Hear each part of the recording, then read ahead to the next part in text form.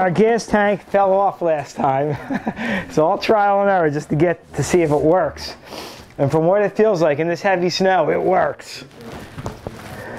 Round two. This is our second shot today in the snow day here in March. Okay, I made a track around the property with the quad because the snow is so deep and it's heavy that I had to do a track first. But now I'm going to be able to rock through this. All right, here we go. Out into the snow. Holy shit.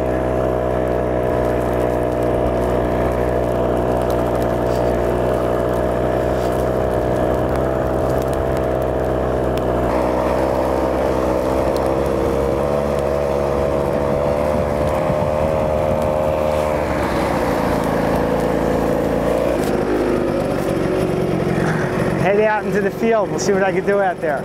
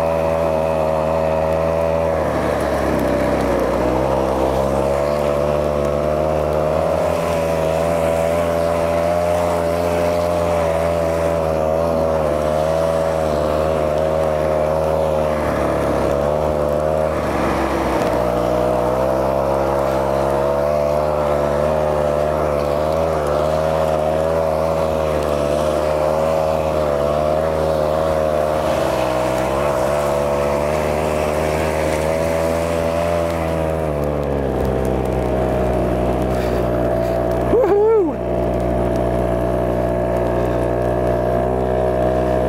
This is deep, man! Woo! Now that I made the track, it might work better.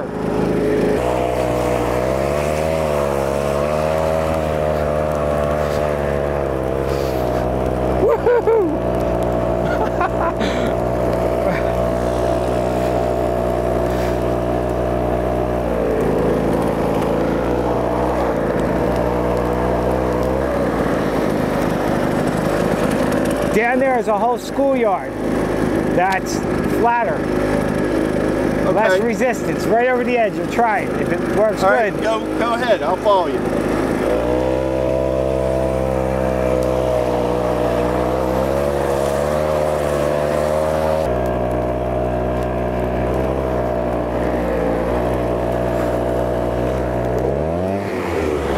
woohoo! this is a whole new sport.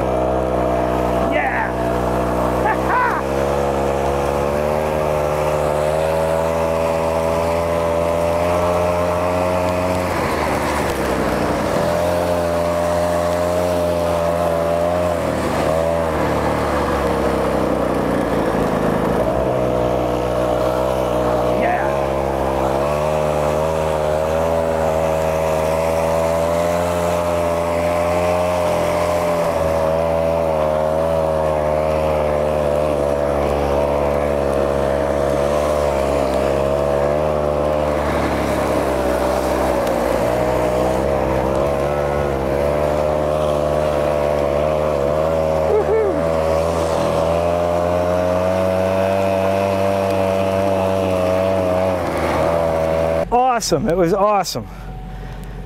I don't think I have to tweak much more. Just make it look pretty. And we got something.